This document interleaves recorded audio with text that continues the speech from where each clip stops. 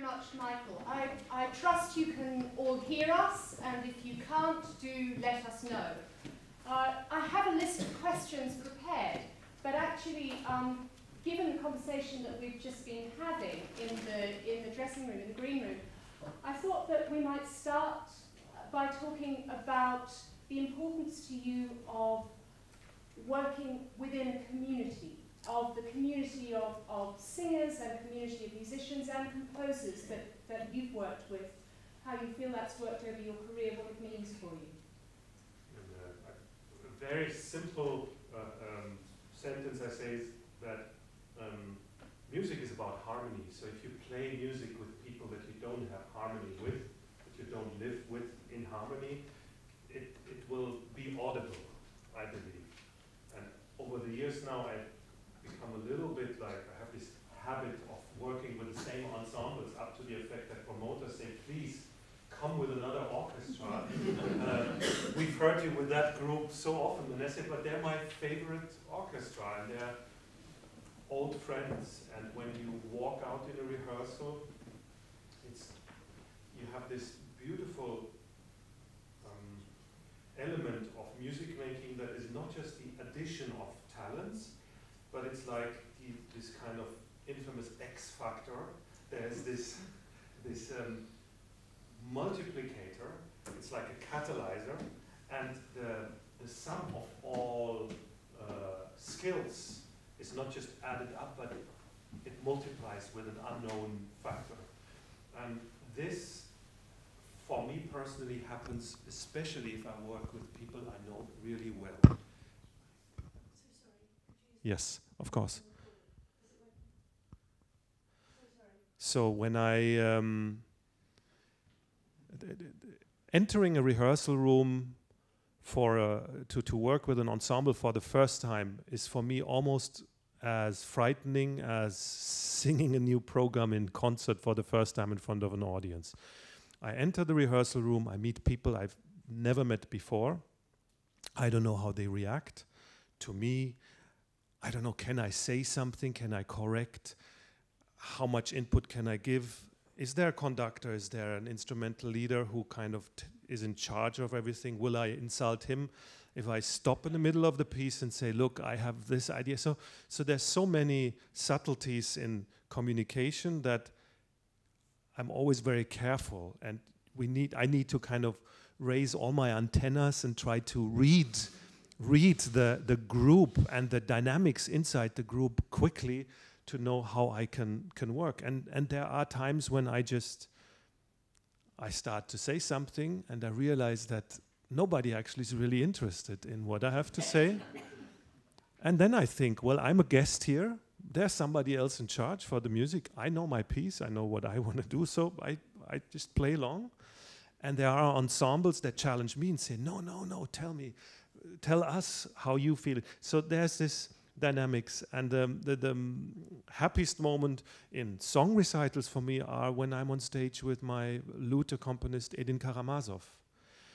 It's a 25-year-old friendship now, and I always say when we travel, it's like an old couple traveling because we know each other so well. We check into hotels together, we have dinners and breakfasts together, and sit in planes together. So I think I could sing with my back towards him and his back facing mine, and we would still be able to communicate musically. It, it, it, it borders on telepathy. Of course, I, I, think it's like reading the little noises of someone's breath, reading the body language, the body tension. When do I get ready to sing? And then me hearing what he's doing. And, and this is a, a um, highly complex activity, the kind of duo playing. I don't see him as an accompanist, but I see him as a duo partner. And again, I need to really know him to to get to this kind of intimacy of music making, and I need to like him. So that's uh, that's salutary. So so then, in terms of the way you work with people, it's it's very important to have that relationship and and to uh, to be able to build a relationship perhaps over time. How does that work? How does that translate to the English environment where uh, everyone prides themselves on their sight reading and they come in and they play the music and they, and they go again and they're very efficient? I mean, I, I think, am I right that you learned to read music when you were 12 or something like that? No? No? Is that wrong? When I learned reading music when I was 20 in Schola Cantorum. I, I had, I, uh, when I applied for the school in Basel, actually it's, it's, it's um, they accept uh, bachelor students and they always did like, so you work there for, to get a diploma. Um, normally I would not have been accepted because they have, of course, an entrance exams with, with music theory, uh, ear training, uh, melody dic dictat, I don't know, yeah, dictation. You have to play a little piece on the harpsichord. It's, it's not super difficult, but I came from a boys' choir tradition where uh, we memorized everything. And, and I have to say, uh, it, to me or to the audience, it doesn't matter to know whether or uh, once you hear a piece and you like it, does it make a difference whether the artist learned it for three weeks or three days? it's it's uh, ultimately that's up to me. So I'm actually very happy with the memorizing skills, which is really important for song recitals. And I had then to, I was accepted because of my singing, and the director wrote, "We we we like to remember your singing performance." we less like to remember your musical theory performance. so I remind you that this first year will be hard work for you. And it's a thing called four course pre-classes, that it's a luxury in Basel. They, they can accept people who have an, a special talent and lack the theory knowledge. And then you get this extra intensive I had five hours of ear training a week. I had basso continuo basic class. I had singing lessons. And then after a year, and cembalo, and after a year, then I, I passed the regular entrance exams and I was officially accepted into the school. So I, the sight reading was is not not still not my strong point. Within a certain style, of course, if I sing a Bach aria, a Handel aria, a Dowland song or something, I know what to expect. So then sight reading is easier. But I'm I'm I'm still a pretty bad sight reader. That's uh, fair enough. Uh, maybe we'll come back to that later. Actually, on the subject of your of your training, I think uh, you wanted to say something about your teacher who recently died, and uh, was a very important figure. I think. Uh, can you can you talk a little bit about his influence and perhaps the influence of uh, sort of other other major musical figures at the time that you were learning? Uh, I started my studies in Basel in 1987, and I didn't know my teacher Richard Levitt beforehand. Accidentally, a lady who lives in our village said, "Oh, I heard your teacher because I told her will be Richard Levitt. Look, I have an LP here." with uh, a recording by Thomas Binkley, Studio for Early Music, and it is Oswald von Wolkenstein. And look here, it says Richard Levitt. So I had an LP of my singing future singing teacher. And uh, I started singing with Richard when I was 19. I just turned 20 then. And I don't know, it was the, the perfect match. He's, he's a, he was a fantastic teacher. He was a slightly mm, exotic personality, I would say. It could be quite difficult with other people, but he loved his students. And the day before he died, he was lying in his bedroom, and three of his students and his partner were sitting there, and we were talking, and we knew it would be the end soon, and we would hear him once in a while.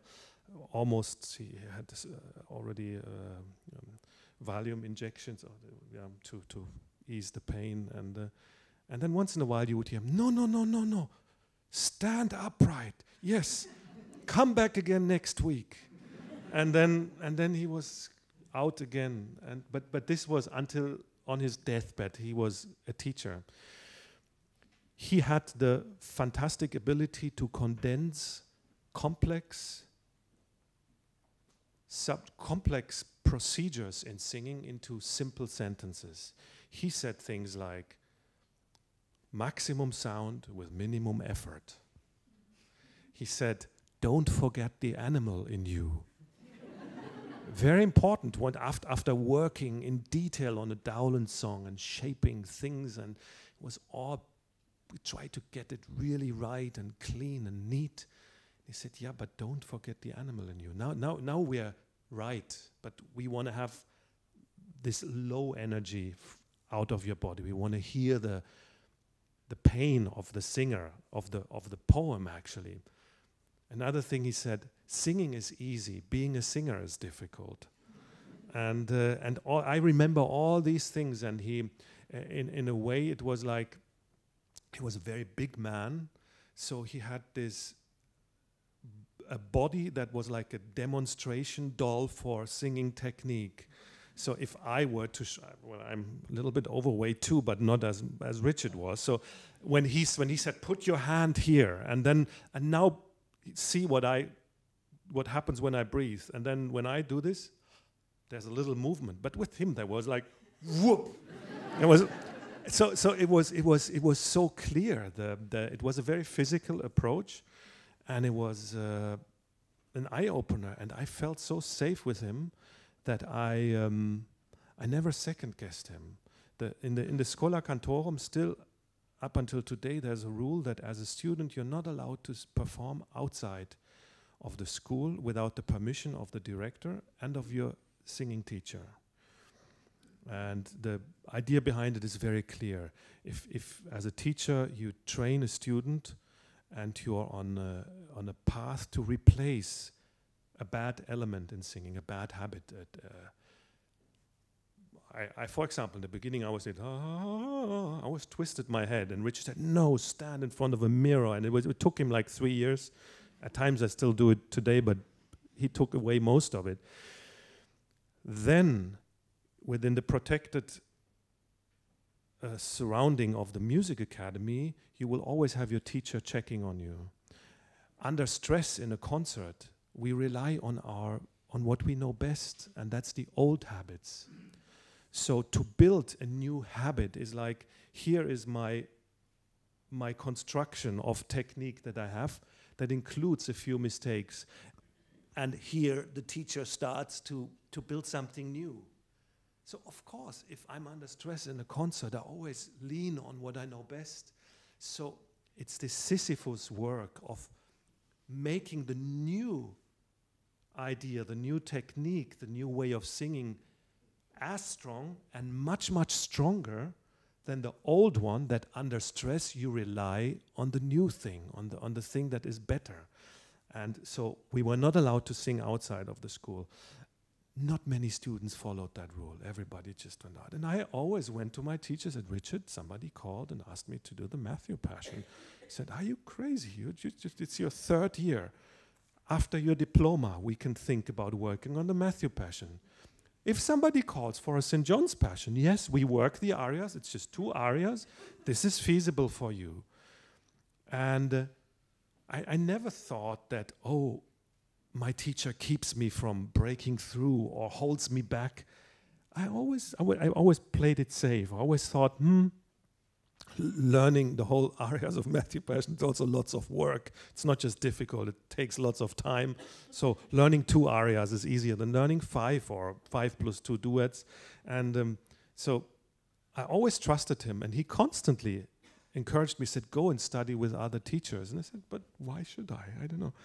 So the only other teachers I worked with were teachers that came to Basel, and there was uh, Emma Kirkby, Evelyn Tubb, Tony Rooley, it was Nigel Rogers and René Jacobs. So they were like visiting teachers, and these are other teachers. And they never their work never collided with Richard Levitt's work. They Richard focused mainly on the development of the voice, and these teachers gave impulses from other directions into singing, and that was a perfect combination.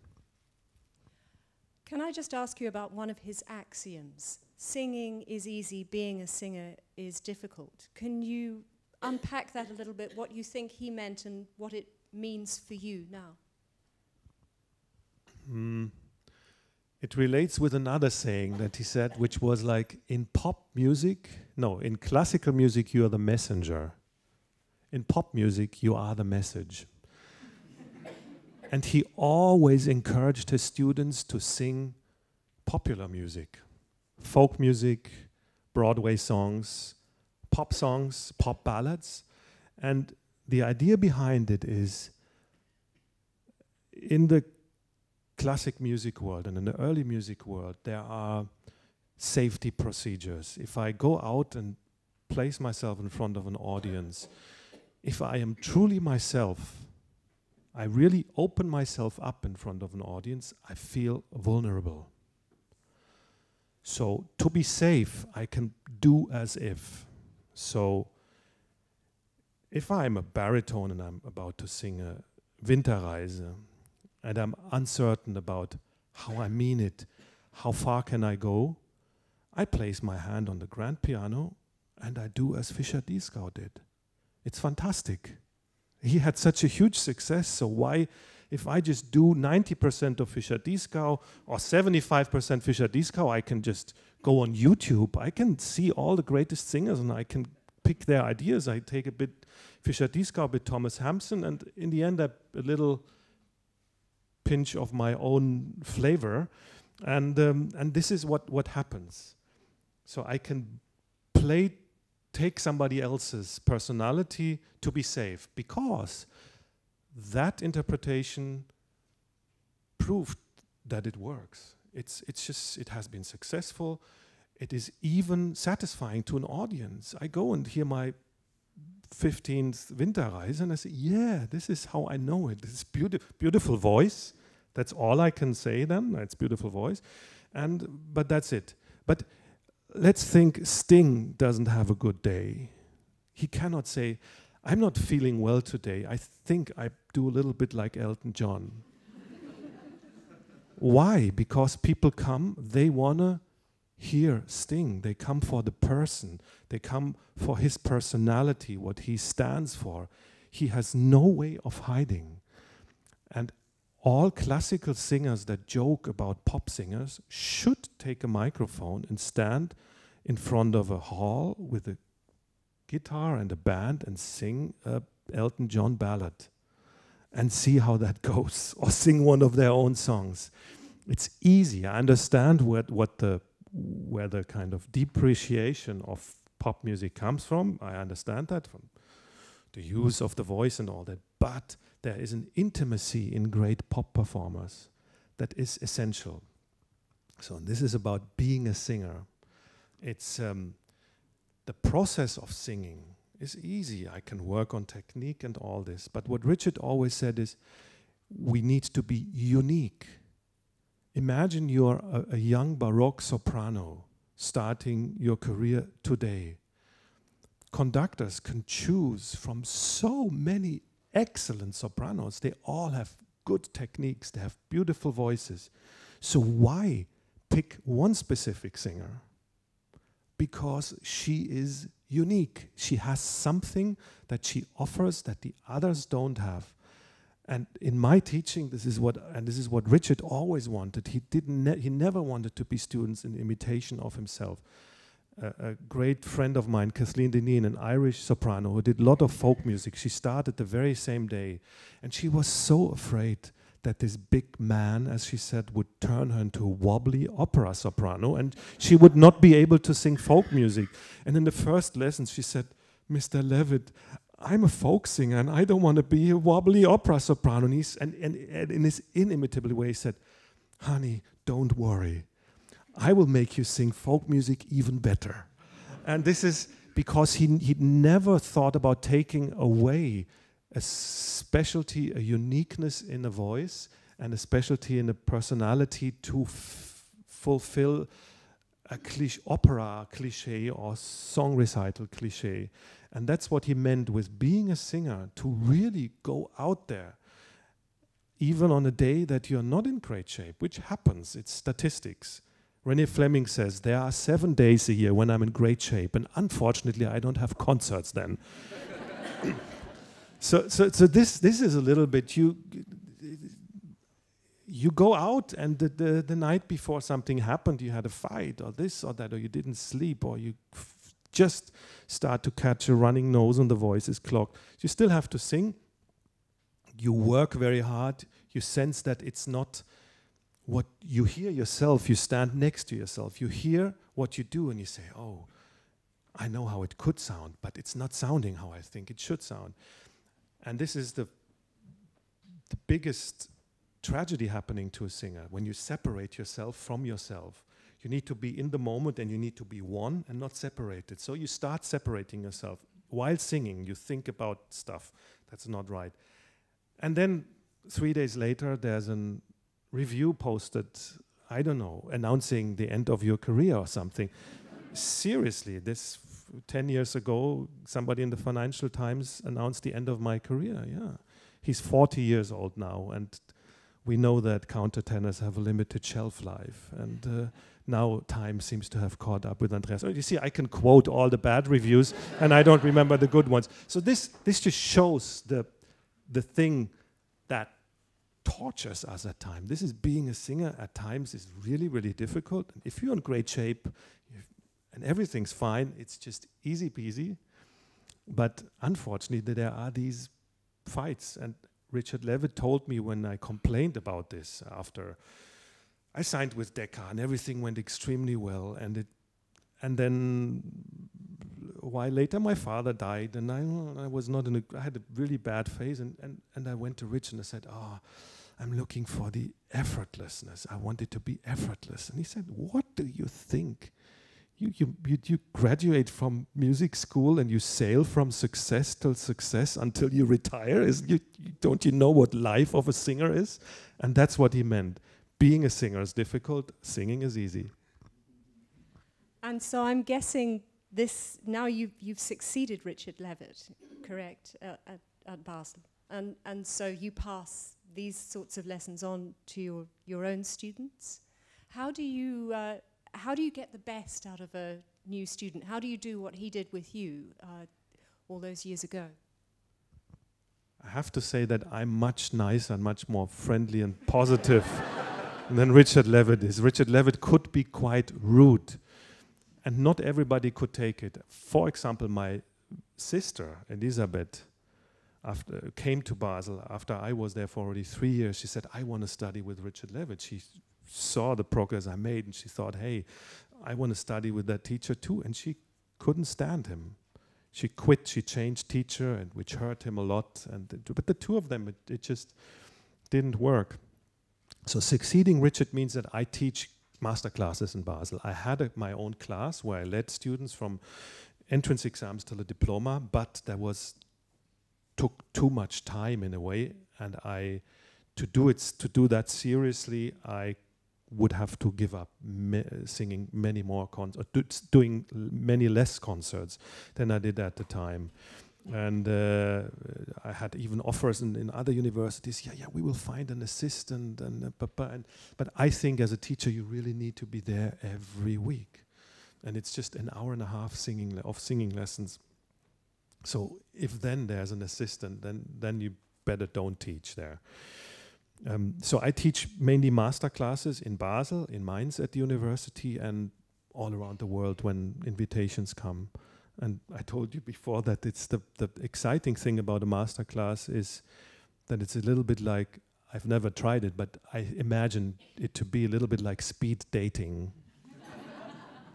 because there's like clock and there's music playing, somebody sings, and you have like three minutes. As long as the aria lasts, you have to try and receive as much information from that person in front of you as you can.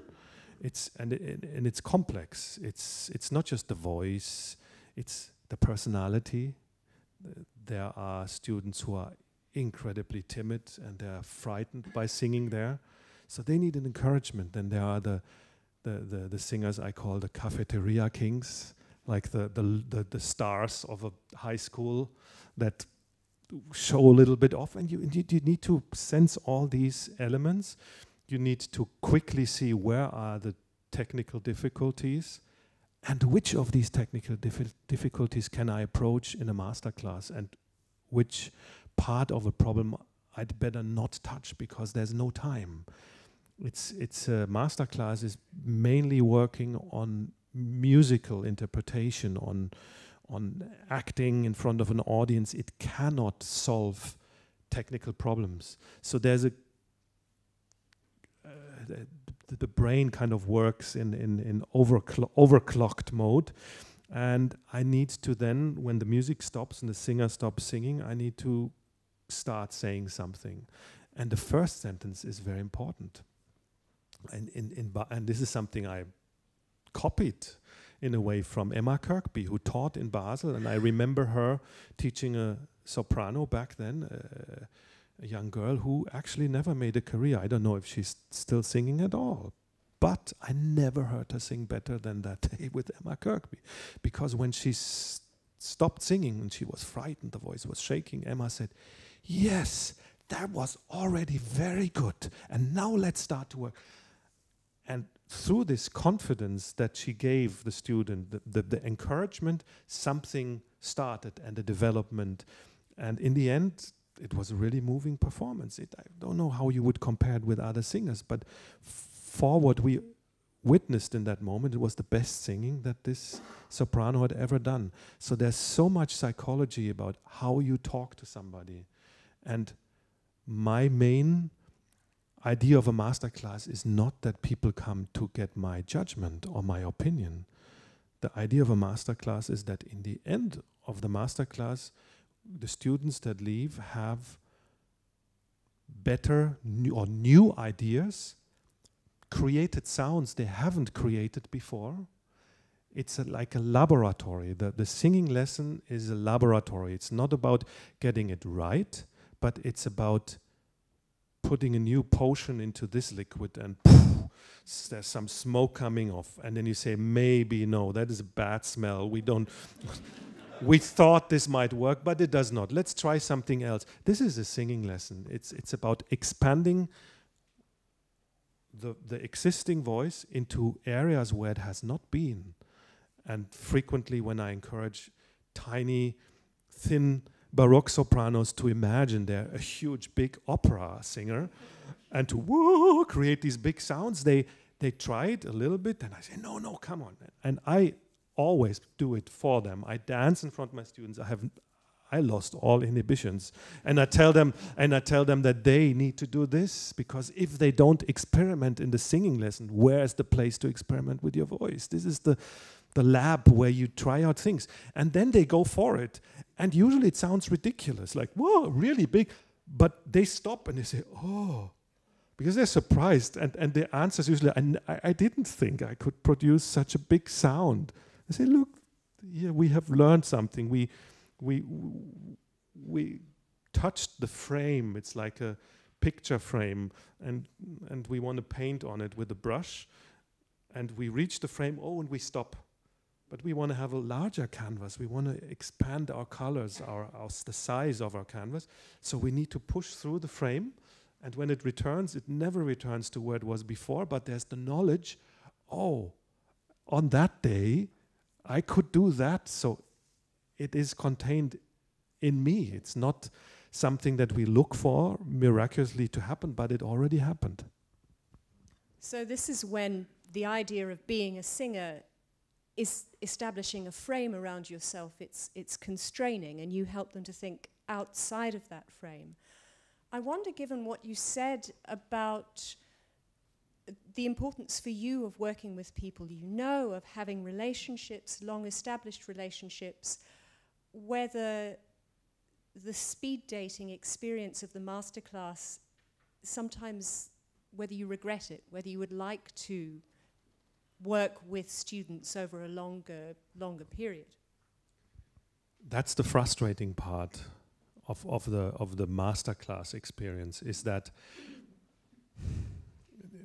you last summer I taught a masterclass at the Bach Academy in, in Stuttgart, and there was an, an alto, an, uh, a contralto lady, and she worked very hard, and, and within the lessons we got to a point where she really made progress where I thought, yeah, it's getting into, uh, she did Es ist vollbracht.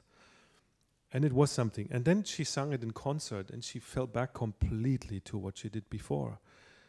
And it was painful to to to not say, "Come back next week. We need to uh, go back, revisit this moment, see what we can, how we can get back to the better version or to the more intensive version."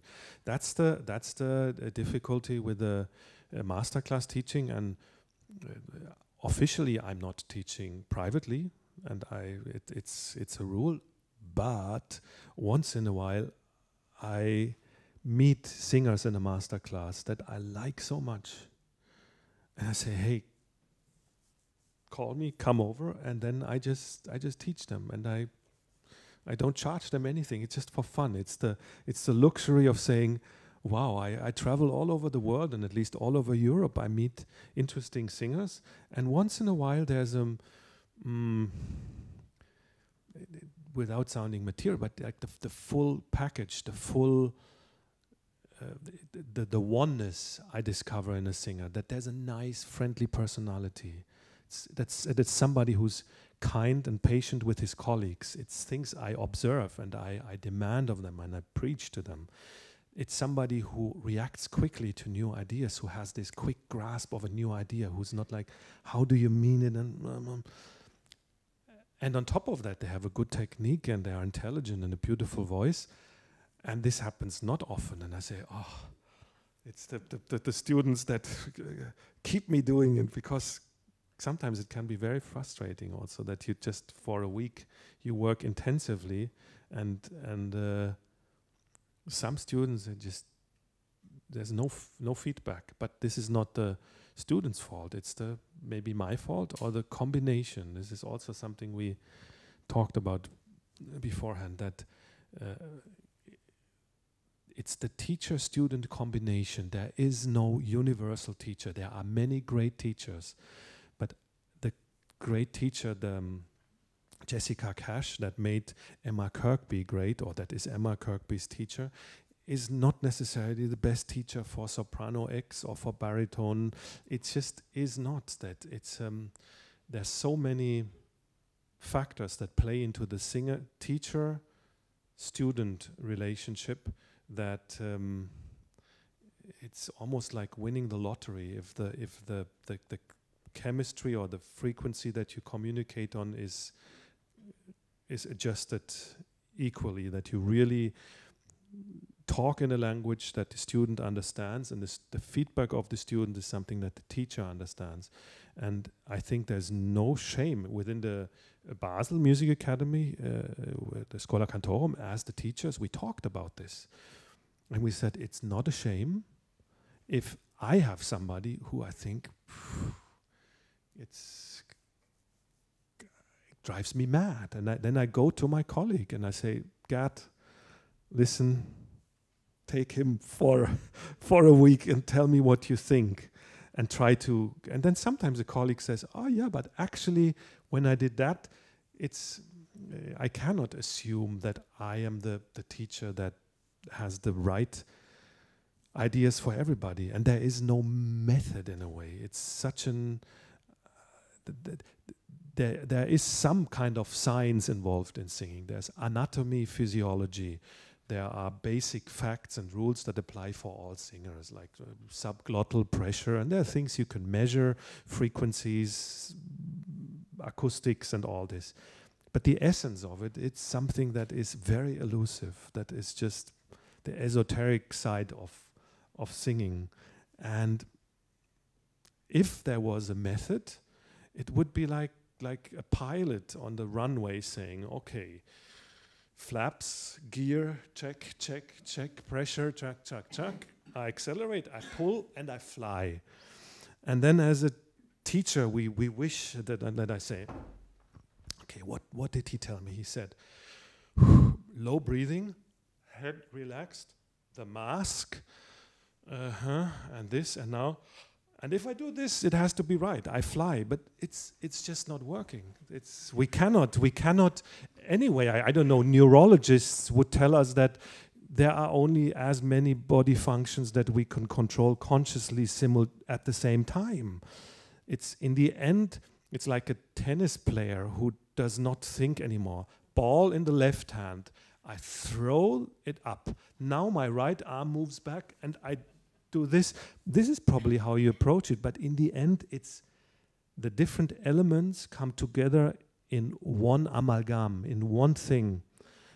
And you can find a language that um, gives a keyword to a complex procedure. And for the student, then the keyword or the experience of the moment, when it comes, unlocks all the complexity again. But you cannot think about all the complex, uh, complex uh, anatomical uh, motions, movements that need to happen when you when you sing. That's the.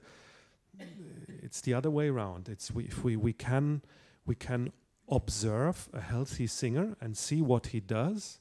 But if I imitate the symptoms of healthy singing, it does not mean that I'm a healthy singer.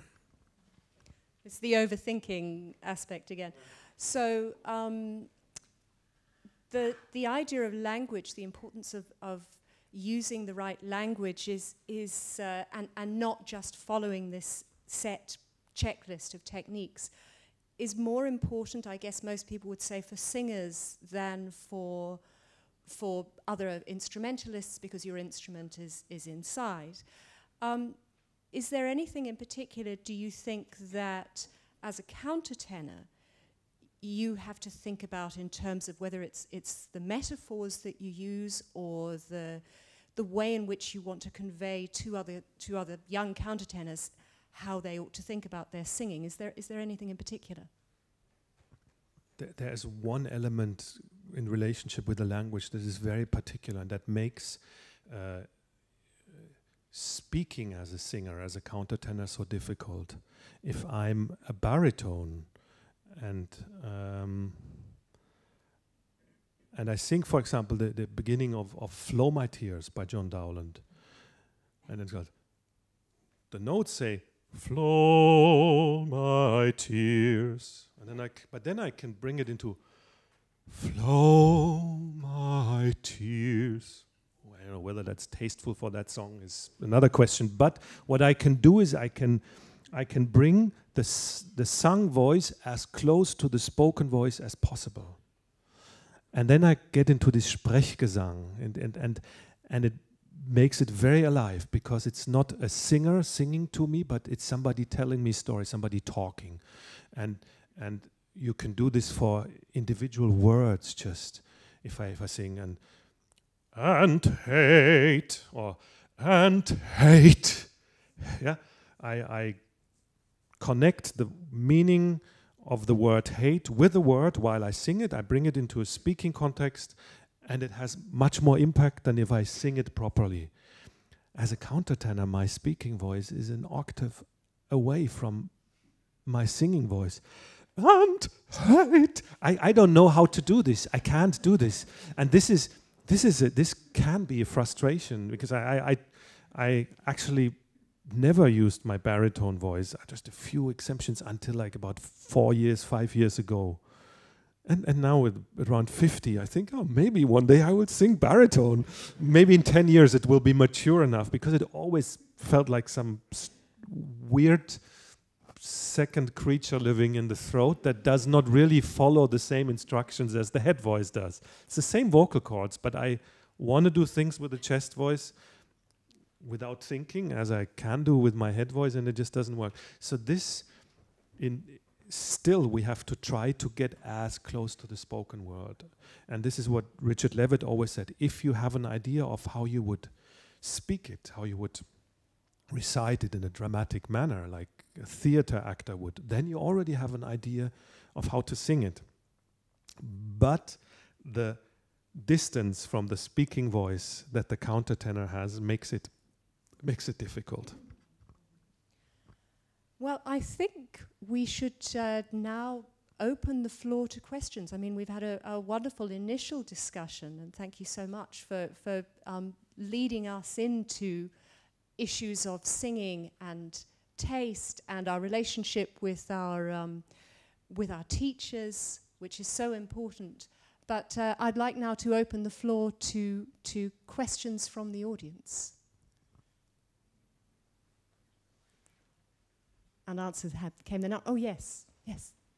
Thank you very much. It was fantastic. I was wondering, just on the last point that you made um, about this distance between the, the octave you speak and the octave of the where you're singing, um, whether you could tell us a bit more about um, the difficulties, if you have any, when you interpret uh, roles in operas that are perhaps heroes in the story, but sing at, at that sort of like octave, which uh, was perfectly fine for the 18th century, and people associated that with the romantic hero of the story, no problem. Whereas in, the, in, in nowadays context, then that's not necessarily the first thing that people think. And I was wondering whether you have, um, have any, um, anything that you want to tell us about uh, ways in which you reconcile the two, the two heroes of nowadays and the 18th century one. That, that, that's a very good question because it's, it's this, this contradiction that we associate heroism in, in vocal performance with a high C or with a baritone with a and, and, and, and, and once I said like sometimes we think drama and masculinity is measured in decibel. So the, the louder you can sing, the longer you can hold your high C, the more virile you are. Or so but but this, this these are of course the conventions that we created ourselves. It's not um, God given or no, not a natural law to say men have to sing that way and it's more masculine to, to sing uh, tenor than it is to sing countertenor.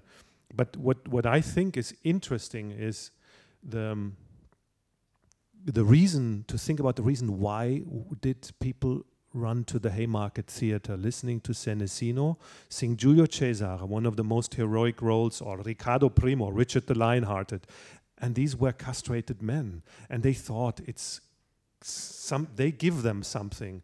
And there's a, a beautiful um, book by Dominique Fernandez, French author, called Porporino or the Secrets of Naples. And it was written in the early 70s, long before uh, early music hype and everything, and countertenor castrato, long before the Farinelli film. And, uh, and in that fictitious story, the young castrato Porporino meets the Mozart boy, Mozart at the age of 12. And while the adults are eating, the two kids talk about why do people run into the theater and why do they think it's so heroic to hear a man with a high voice. And this is a beautiful, beautiful concept by Dominique Fernandez. He says it's the desire of human beings to be complete again. And you could say that the primary, it's, it's it might take me three minutes to explain this. The, the, the, if there was a UFO landing outside here and somebody walks in and says, What are you? I would not say, I'm a man. I would say, I'm a human being. I'm from planet Earth. I'm a human being. And society, wherever we are on the globe today, um, assigns certain uh, Eigenschaften, attributes, and certain ways of behavior to one or the other sex. But I don't know, um, emotionality, sensitivity, uh, mental strength, leadership, are, they are primarily they're human things. They're not male or female. Yeah, like in the mid Middle Ages, uh, a knight yeah, he needed to be able to chop off heads with his sword, but he also needed to be able to write a poem and sing a song, which is not something that we think Arnold Schwarzenegger would do these days as like the, the kind of poster for masculinity. So these, these rules change, and even on this very day, they are different. And uh, the countertenor, or the know, I always say, already say the countertenor, the countertenor today and the castrato back then transcends these conventions he allows himself on the opera stage to stand not for the travesty of male and female, but for the next higher and truly higher level for humanity. And he can be a human being and can be a figure of identification for men and women in the audience. It's this desire to not exclude elements of our personality. Uh, as a man, uh, I have to be careful. I have a very good friend. He's a policeman. Well, I don't have to be careful. I say conventions would say, I can't tell my best buddy I love you, but we do. He sends me messages saying, Ich hab dich lieb. And first I was a little bit, but I know I mean, I really truly love this man. He's my friend, and when I see him, I hug him very long, even in public, because he's my best friend, and it doesn't hurt anybody to hug somebody you love. And my two and a half year old daughter, whenever there's music playing she likes, she starts to dance. And we find ourselves in a pub or in a place, and our favorite song plays. The impulse would be to get up and dance. It doesn't hurt anybody if I stand up and dance. But we are so concerned about what people think about ourselves. What? Oh, but if I stand up and dance, they would think it's silly. And um, or if if I hug my friend too too long in public, will they think I'm gay? So we are so much concerned with this, and we constantly suppress positive impulses that we carry inside of ourselves because we are afraid of judgment. And the castrato in the opera stage, he can be heroic and he can sing with a high voice. He transcends this. He doesn't care what people think, in, in, if you could say that. So that's why it reflects the desire for, the deep desire for being complete that we all still sense in ourselves because we have these little moments every day where we need to watch ourselves to not say the wrong thing, not do the wrong thing, because it would be uh, pushed onto the other sex, so to speak. Yeah.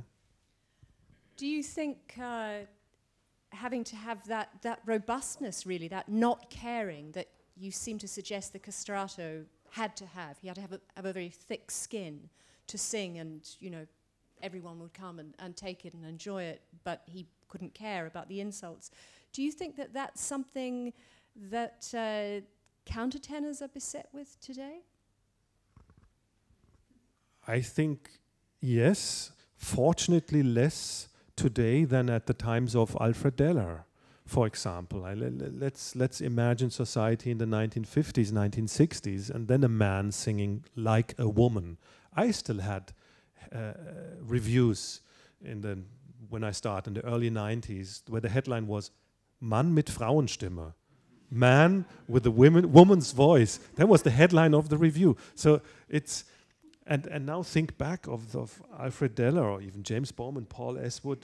It's fortunately society moved into a more tolerant way of dealing with each other and with each other's uh, individuality. As long as it doesn't interfere with my life, I can be who I want. And it is also the the most negative reactions I had I wouldn't say aggression, but a, a, drunk uh, wife of a donor in the United States after a concert who could not stop asking me whether I could have children or whether I'm or whether and she thought it was funny but it was it was really that it was I, something she couldn't let go of this. She needed to constantly provoke me. I, I stayed calm but it's it's this um, the provocation we see in somebody doing something without caring. And it's like the punks in the 60s that had green hair and the businessman who needed to put on a gray suit every day and hated that suit. And he saw somebody who said, I like to have green hair and I color my hair green and I don't care what people think. And then the natural reaction is like, how do you dare? I need, you need to stop this. It's, it's the, the ag aggression against people who are different, it's usually because they do something we would love to do. They, they take a freedom that we don't dare to do, and therefore we hit them on the head and say, No, no, go away, because you make me realize my own oppression, my self oppression that I put on myself. You are too courageous. I can't do this, so I'd rather not see you do it because it makes me feel too bad. So does that mean that for you, you know, that as well as the importance of teachers, there's an importance of a sort of lineage of other countertenors that you can say, look, these people have done and I'm part of this tradition, and it's a valid tradition and a venerable tradition, in the same way that the castrati did, actually. They looked back to their predecessors and said, I'm singing his music, and it, it's valid. Absolutely. My first ever countertenor recording I heard was James Bowman singing, and he still is my great hero. I was a I'm a big fan of James Bowman, and it was so much fun to then meet him actually. And and then later I discovered the voice of Alfred Deller, and I, I, sat in a hotel room in Cologne with two little speakers connected to a CD player, and I was in tears of hearing him sing Waly Waly and The Wife of Usher's Well, and then other songs. And I, I I would have loved to meet him. I think, oh, it's. So I sung at his festival in Stour, and with my friend Iestyn Davies, we went to his tomb, and it was was really it was an emotional moment because we, and uh, I in the beginning when I started. Um, saw myself and I still see myself in the tradition of English countertenors, like coming from the boys' choir tradition, and then parallel with my career, David Daniels started his career as the the number one American and fantastic and world famous countertenor, and there were it was cl clearly a difference in in how the voice was being used. He was far more operatic, had a bigger voice, and so it was both of us felt that there is a tradition. There's like the countertenors who start not necessarily in an early music context, but just developing the voice, which actually is probably more healthy than just thinking too much about early music singing, which at times equals limiting your voice. So, yes, there's a clear uh, uh, conscience or a knowledge of of the I don't know Alfred Deller, James Bowman, Paul Esswood, Michael Chance, then maybe my generation, and then and there's already now many many younger generations, and, and it's and it's shocking when you work with a young colleague in Metropolitan Opera. Christoph de says, "Mr. Scholl, I listen as a child. I listened to your recordings." and I said, "What do you mean?" and uh, and then I did the math, and I thought, "Yeah, it's just possible." Yeah, and. Uh, and, but he's a, he's a great friend. He, we, we did many opera performances together. Yeah. Yes. I'm interested in the relationship between your countertenor voice and your baritone voice.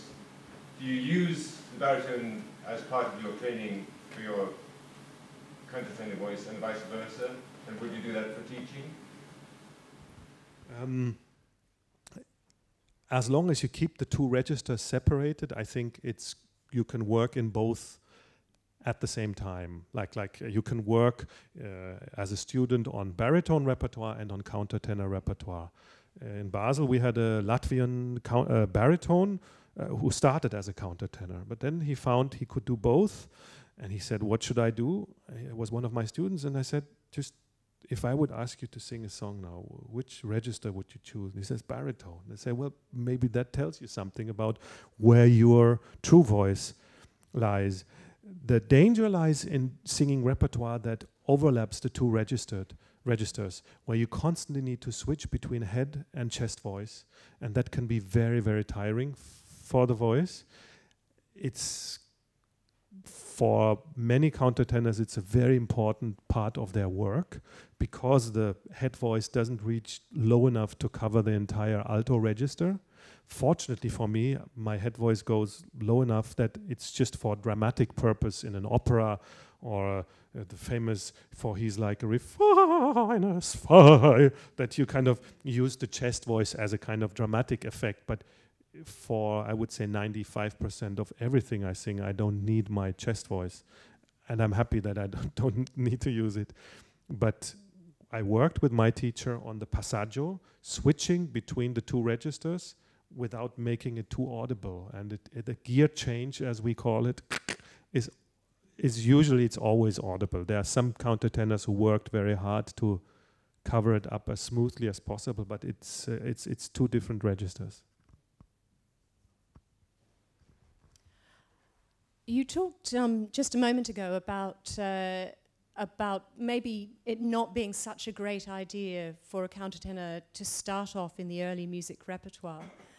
And I notice that in your in your own career. You you did start very much with the early music. I mean, partly because of coming through the the boys' choir tradition, um, but but now your recordings are pretty eclectic. Your performances are eclectic, and you're a composer yourself.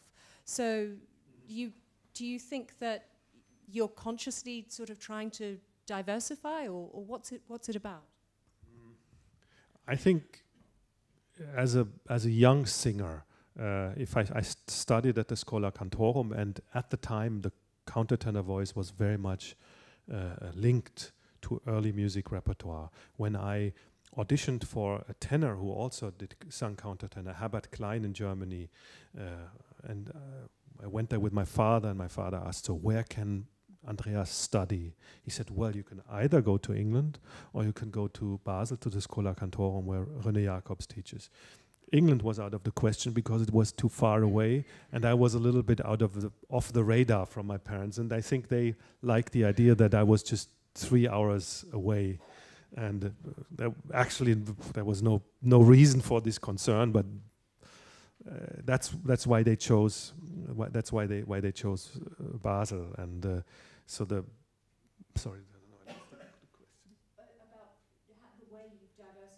Ah, yeah, and and as a young countertenor, of course, then within the context of the Schola Cantorum, it makes sense to sing early music, and to get a kind of standard repertoire, which is what you will be most likely singing once you finish school. It's like Bach oratorios, the Handel oratorios, uh, the most famous Handel cantatas, and these things, and uh, and then you kind of develop your voice within that context. Yeah, that's the.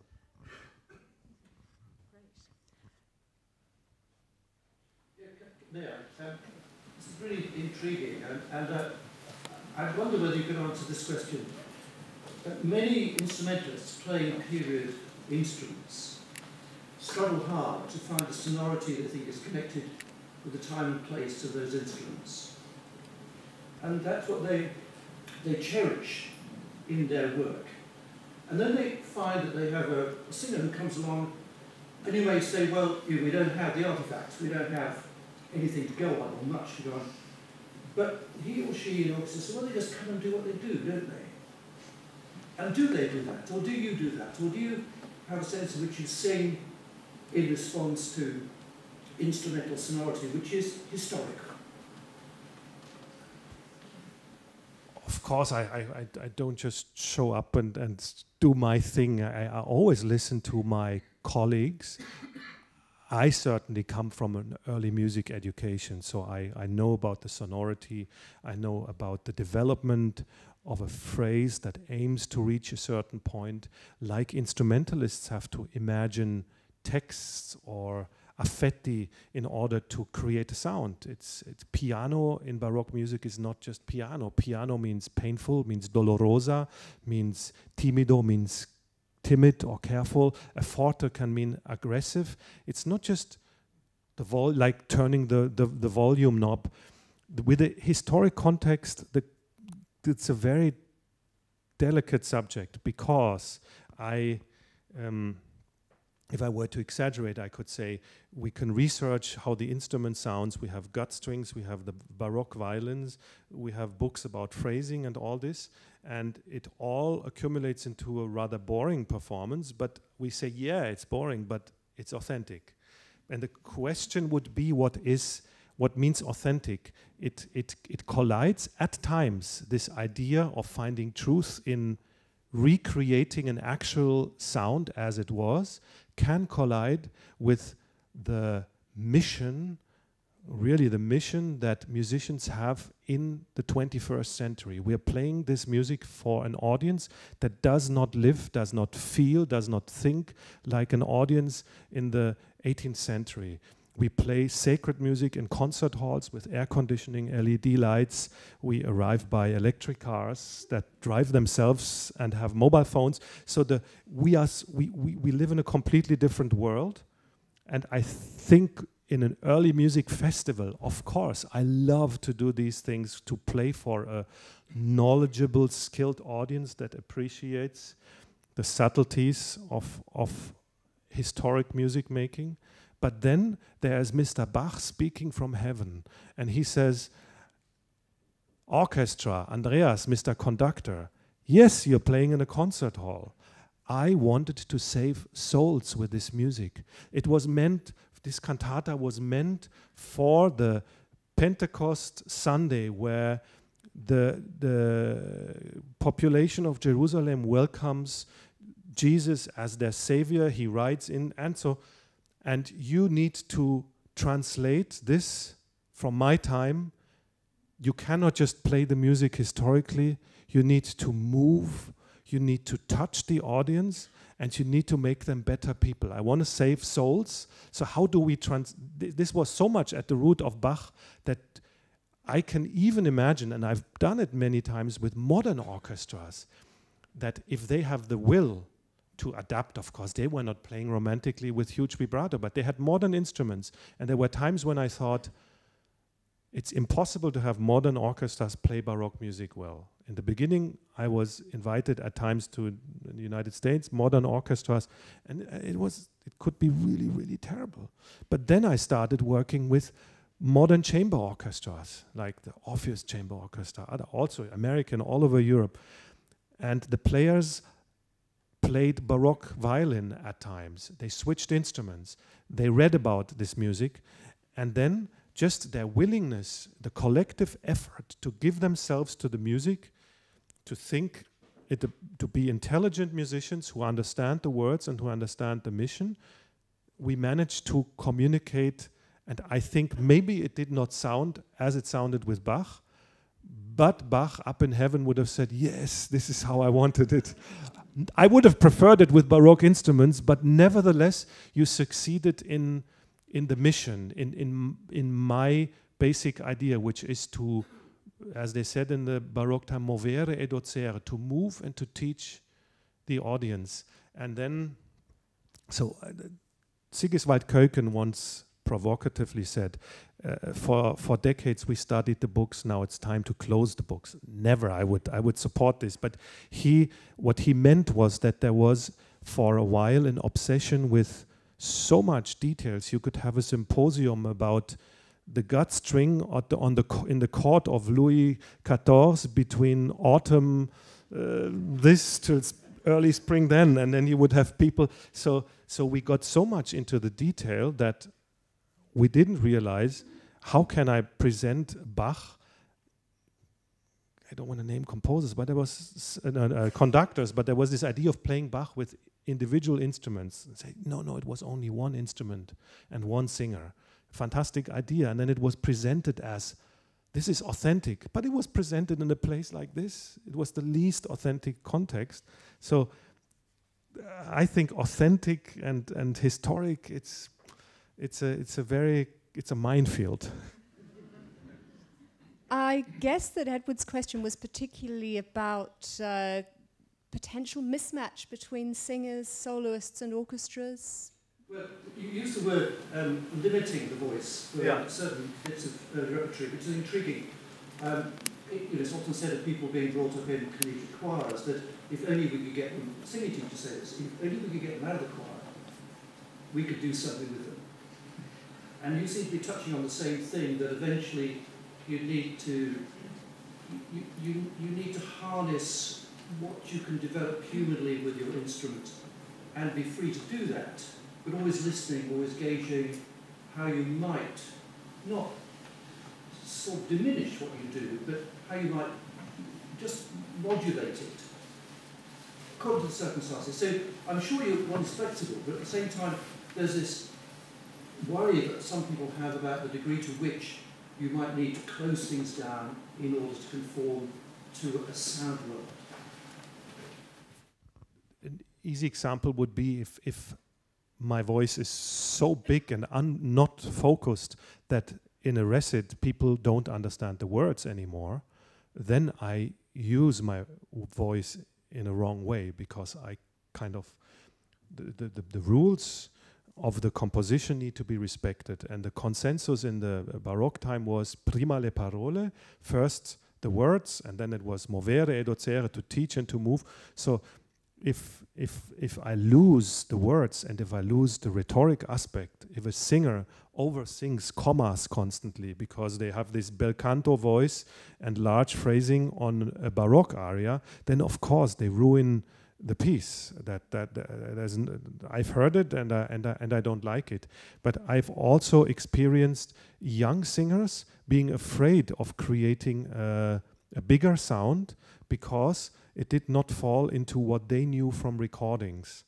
Like like uh, in in master classes, I hear so many more or less good imitations of Emma Kirkby. But Emma is the she's the original. But there's so many sopranos who just try to imitate her sound, and it's uh, it, it comes back to being an informed singer, I need to study the rules of the music I sing. I need to know the background. I need to know which Sunday is this from, which gospel does this cantata talk about, what is the context. If I stand up in front of an audience, what is my task? Am I preacher? Is it say, die Welt, das Sündenhaus bricht nun, then I'm preaching. But if I say, oh God, if I talk, if it's a prayer, of course I don't approach the audience. So there needs to be a, a, um, a, constant awareness of where am I directing my energy to, my voice to, what is my my task in this moment. Am I preacher? Am I storyteller? In a cantata, I can be shepherd and nymph, and everything needs to be precisely readable, understandable by the audience. Um, well, you, you the, I think your students are going to have a, a, a wonderful time in the, next few days, so that, that's great. But recent, in the, the last part of what you were saying, you ran through a minefield and, and you've survived miraculously, but I haven't had, there won't be time for me to detonate anything. So, um, but I do, I do worry about one thing. There's a whole assumption, whatever your views on the authenticity of period instrument early music revival, that the countertenor was the uh, emblematic voice, if you like, of, of, of the early music movement. Well, maybe it was, but was it the emblematic voice of the periods we're talking about? I know of no evidence that falsetto singing as a solo voice certainly existed at all in the mid Middle Ages. It was only sporadically there and as a substitute for voice, often in the late 16th century, early 17th century, only in Italy or perhaps Germany as well. Purcell's music, 90% is of the service is not for a falsetto voice. Bach, we don't know, but I doubt that anybody could name any countertenor from Bach's Germany at that time. Uh, if there was falsetto singing, it was probably soprano. Handel never once used a falsettist on stage in, in any of his operas in Italy or in mm -hmm. England. And actually the answer to the first question is possibly partly in the fact that castrati and women, which were used interchangeably for those alto and soprano parts, were singing in their speaking voice. So that handicap that you've described about the falsetto voice, so certainly as a solo voice concerned with, with, with uh, projecting words in the ways that you've described very well, beautifully, um, that, that is a handicap. And that is why there's no evidence whatsoever that Dowland, for example, Dowland songs uh, were sung by falsettists. But the whole assumption, the public that you sing to, assumes that. Does that concern you? Uh, is that, is that, Sorry. the thing is, I, I, for example, with Bach, we know that's at least what Ton Koopman told me that there's one letter of Bach complaining that his personal assistant had. Um, it's not right. It's not right. Okay, so I stop this. Okay. The, the, the, the thing is, then I should add a disclaimer in the in the. The thing is, yeah, but look, if, if, you. It's, it's, it's the, if Dietrich Fischer-Dieskau sings sings the Winterreise, sings the Winterreise, no problem. does he no need to does does he need to write? I'm not the original singer that Schubert wrote it for. No, because I, everyone will know. I'm, I'm just I'm just I'm just trying to say something here. The countertenor voice exists these days. It's a voice that expresses itself Absolutely. like any other human being can sing. Countertenors sing, of course, more or less good. It's a vocal range that is defined as the alto range countertenor. These days the repertoire, what I sing is what Bach names alto, what is marked in Handel oratorios as alto. If I have a Dowland song that is too high or too low, I transpose it. Tony Rooley told me in Basel, he said, don't flip over a page in a, in a songbook by Dowland and say, oh, this is too high, this is too low. Transpose the piece. If you want to sing it, and then you offer something to the audience, and then people can decide do they want to buy a ticket? Do they want to hear this singer with this weird, strange voice that is not authentic, that is not historic? Do they want to hear this or not? This is, this is what, what, what I do. And I never claimed I'm not a castrato and I sing Handel operas. And why do we pick countertenors to replace castrati? I always said like I prefer I prefer a good contralto in a Handel opera to a bad countertenor. Me too. But the concept of what the castrato voice stood for in the Baroque time translates perfectly to what the countertenor voice stands for today in society. It's a good For- substitute. It's a, yeah, but it's, it's, it's a substitute. It's a man that Yeah, sings high, and this man sings I'm not complaining about that. I, I'm, what I, I'm, my point succinctly. What's the question, please? the question, the question is quite simple. Does it concern you that the public as a whole assumed that the falsetto countertenor voice as we now know it was predominant in periods earlier uh, from, let's say, 1715 beforehand? I still enjoy singing That's not the question. without being bothered by this. Oh, yeah, I thought so.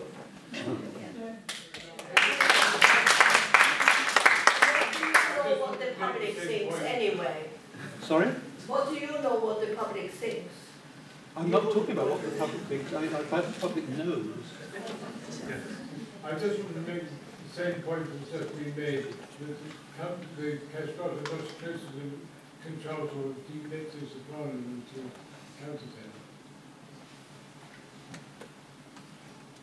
soprano than. Yes?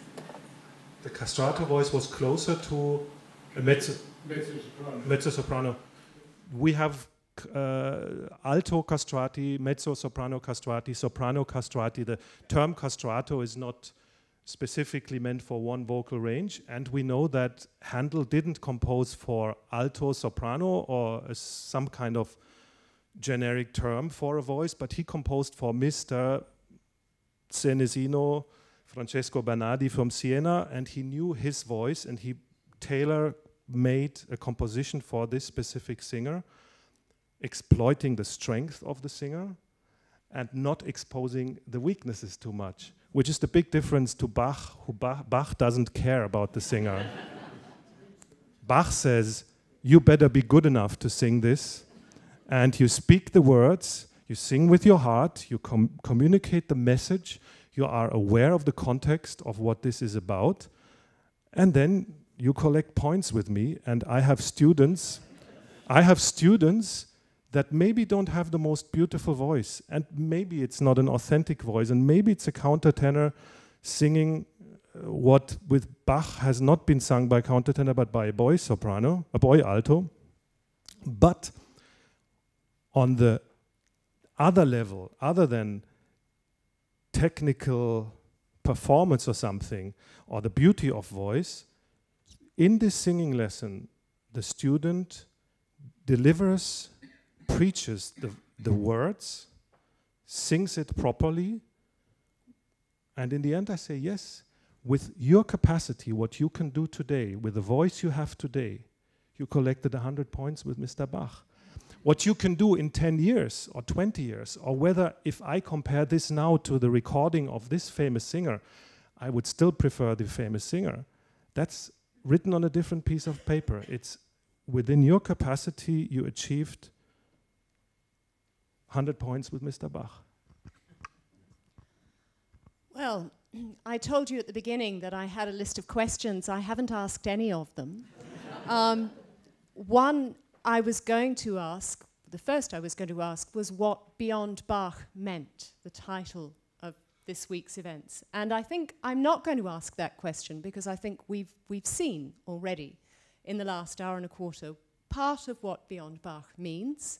And I think we're going to see more over the coming days. So I think at this point we will thank Andreas Scholl very much for his generosity in sharing his thoughts with us this evening, and we look forward to his generosity over the coming days. Thank you.